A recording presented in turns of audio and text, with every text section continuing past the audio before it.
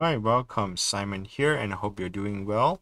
In this video, I'll be doing a TP-Link setup and also port forwarding step-by-step -step tutorial.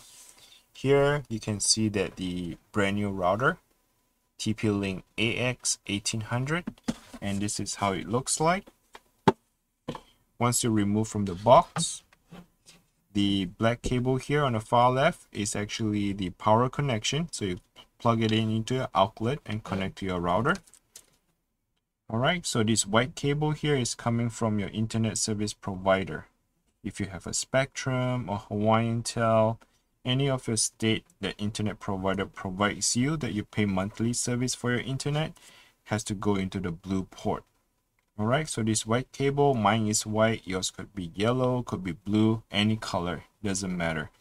But what you need to understand is that the blue port here is actually for the internet service provider that you're supposed to connect to.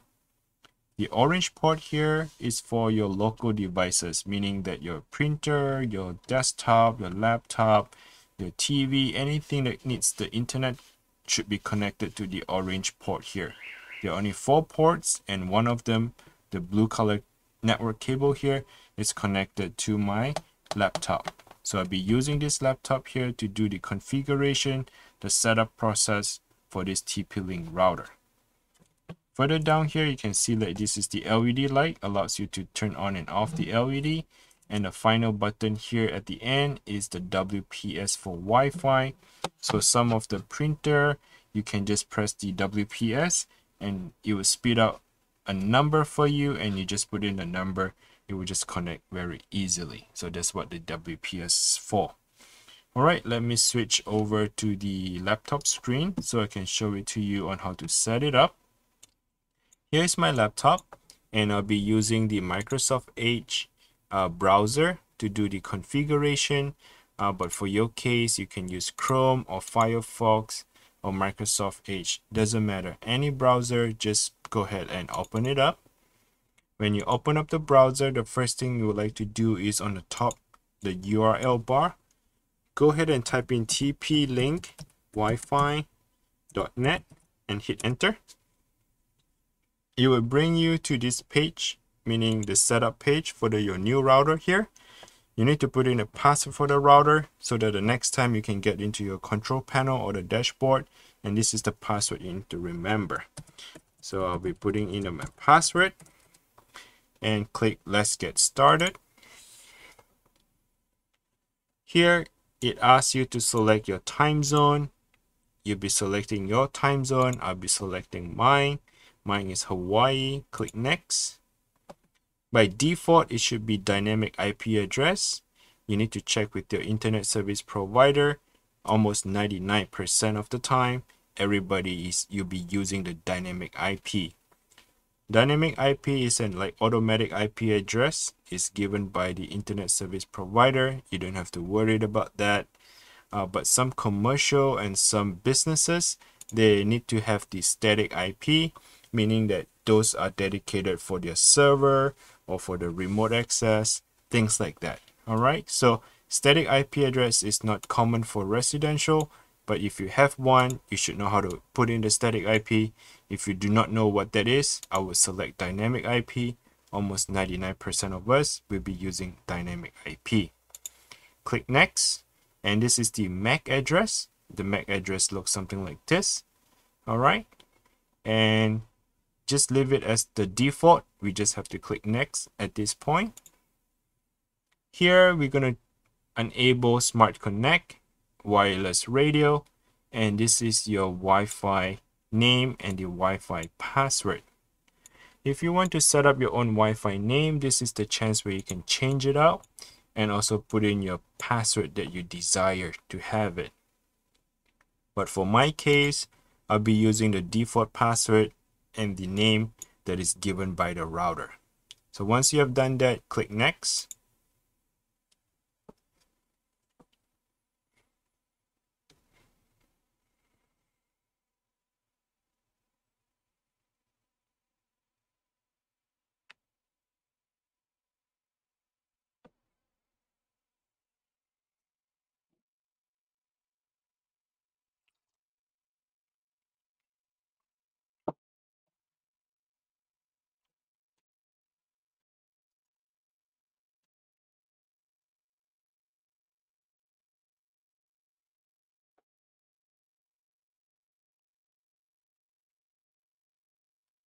All right, so at this point, it says keep your router updated, meaning that it asks you to update. You just click next.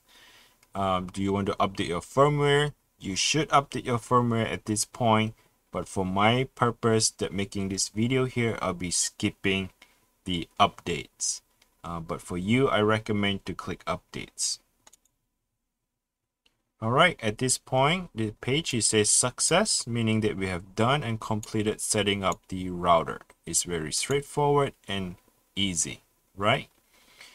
Here, the TP-Link is asking you if you want to sign up with the cloud service, and I would just say skip for now. I don't need them.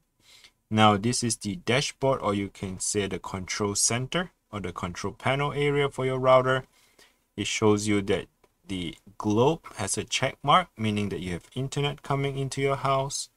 This is your router here. We do not have mesh device.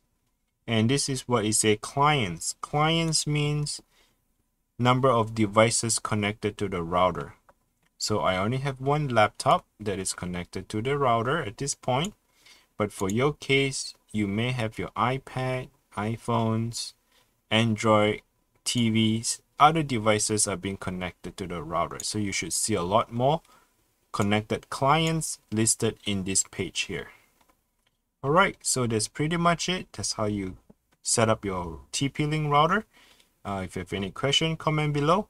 And we are moving on to the next step, which is port forwarding.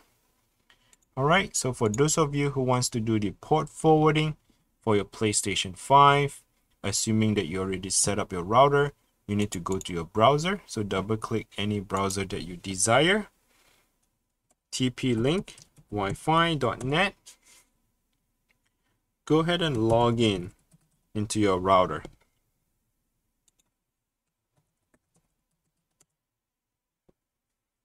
And once you're logged in on that dashboard this control center I'm just going to say not now. I'm not interested to update my firmware. I'm just going to close it out. At the dashboard, what you want to do is you want to make sure that you click on client and you're able to see your, um, sorry, did I say PlayStation? Xbox One. This video is for doing the Xbox. I'm, I apologize. Um, I've been doing a lot of router setup video. I may have said PlayStation 5. I, I apologize if I said that, uh, but this video is for Xbox One. Okay, doing the port forwarding for Xbox One. All right, so um, at this point, you should be seeing your Xbox One device being connected to your router. Okay, that's the whole reason we do the port forwarding. If you're not seeing it, please make sure double check the cable or make sure your Xbox is wirelessly connected or make sure your Xbox is actually turned on. Now, once you have this confirmation, I want you to click on Advanced at this top right little bubble here. It's a circle, click on Advanced. Scroll down and click on NAT Forwarding. In this NAT forwarding, I'd like you to click on port forwarding as well. And this is the port forwarding page. And we need to click add.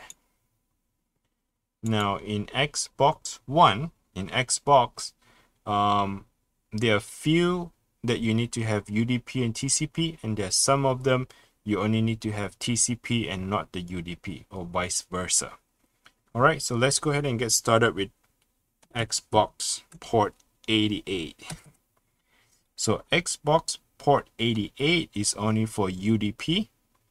So the the next step you like to click on is view connected devices. Again, make sure you see your X, Xbox is listed here and make sure you match the MAC address. If you're not too sure where to find the MAC address to match, go to your Xbox, go to settings, go to network, and you should be able to see the MAC address.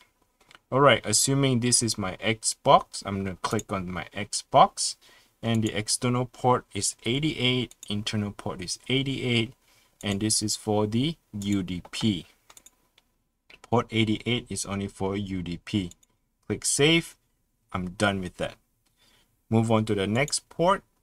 The next port is 3074. View connected device, select your Xbox.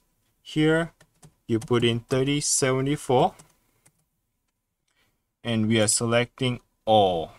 All meaning TCP and UDP will be selected in this port 3074. Again, we need to add another one. And this time is port 53. Click and select your Xbox, put in 53, and we're to leave it all. Okay, and this is port 80. Port 80 is only for TCP. So we only select TCP at this point and click save. We added the port 80. So go ahead and do port 500.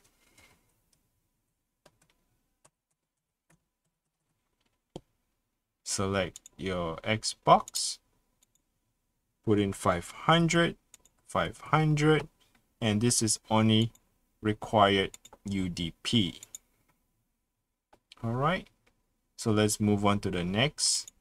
We need to add 3544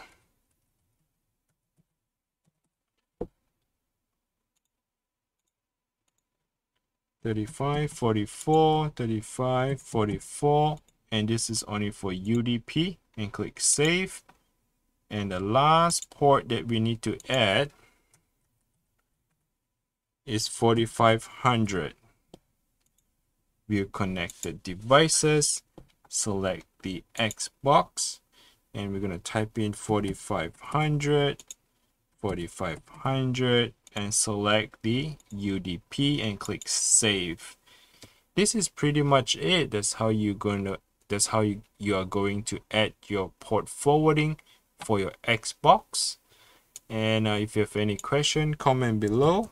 If you find this video is helpful, please go ahead and click the like and subscribe. I really appreciate you for doing that. And if you're interested on where to buy the uh, router, you can go ahead and check the link in the description below. It will direct you to either Amazon um, or eBay, mostly Amazon, to purchase the router. Alright, thanks for watching. I hope you learned something today. Bye now.